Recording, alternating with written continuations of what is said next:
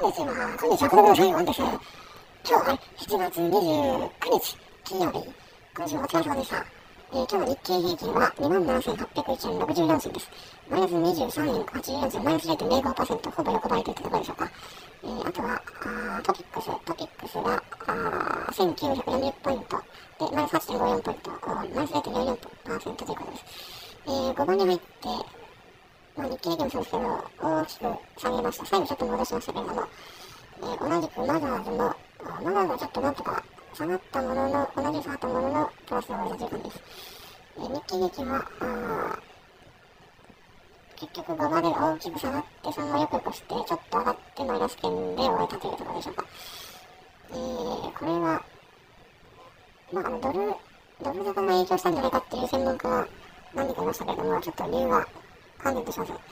私の保有名、今日は日経レバーを6口打っただけで特に大きな実践損益はないんですけど、保有銘柄は、あ指し値の MC がうまく下がって、プラス7225円です。MC は出来高があ大変大きくなってきて、あの昨日決算が出て好調だったものですから、えー、調整入ってこの大きく上がっていって、1万円を回復してくれるといいなと思いますけども、まあそんなうまくは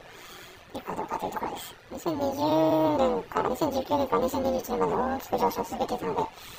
まあ、このようにもう一回戻ってくれればいいなと思っています。グレートグロースと言われているサミーグループの関連会社で医療従事者向けの情報戦成会社の情報提供支援ということです。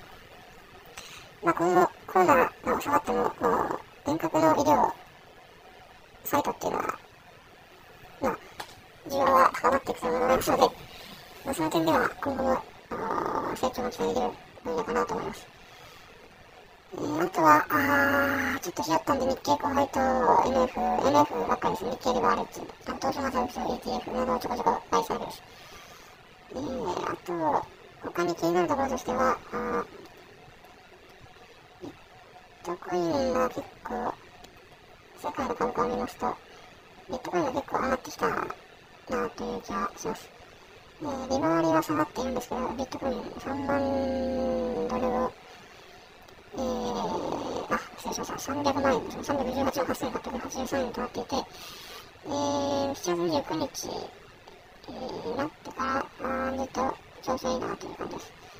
何かニュースが出たのかなと思うんですが、特にそういった話はないですね。今後、今後は2万8000円を超えられるかどうか、えー、まあ、ビットバイトのこととして、えー、日経平均は2万7801円で、えー、終わったんですけど、まあ、言ってしまうと、まあ、私も思いっきり捕まったのが、この、まあ、冷やしで見ると、結局、今、トリプルボトムみたいな感じになっトリプルトップっていうんですかね、2022年3月の終わりに2万8000円を超えて、で、下がって、えー、ずっと下がって、で、また上がり始めて、5月からずっと上がり、2020年6月、私がここ15見た、6月の9日ですかね、2万8000を超えて、で、またそこずっと下がって、22日目まで下がって、私ここで買ってしまって、こう上がると思って買ってしまい、結局下げで食らって60万最初受けました。で、またここで、横横してまた上がり始めて、今2万310円ちょっと横ばいになってますよね。で、この先上に行くのか下に行くのか全く読めません。えー、上に行くんだったらもう乗っていくしかないので、まあ、個別銘柄を選ぶか、LTF に、まあ、いわゆるこの、ちょっと個別銘柄とその予測不能なので、えー、日経、レバレッジ、ETF などで買い増ししていくかということになると思います。ということで、えー、なんか先はなかなかありませんけども、8月に入ってしまうんで、えー、まあ、比較的ビットコインが、まあ、若干戻してきてくれてるんで、総資産は、なんと6000万をキープしてますけれども、まあ、ちょっとビットコインは、ちょっと資産的にはあの増やせないので、えー、今、その資産は、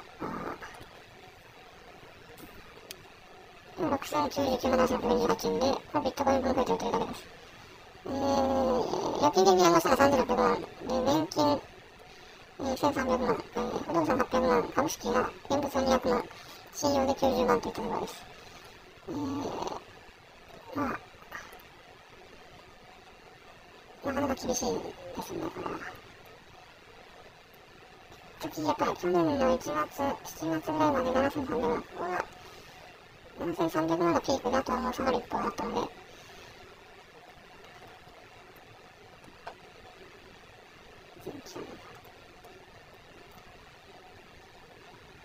まあ、2020年のこの辺りまだ、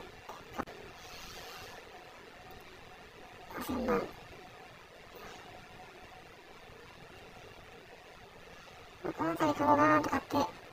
きちんと対応しておけばよかったんですが、まあ、結局ピークが7300万で、あとはもうずっとレベル次第です。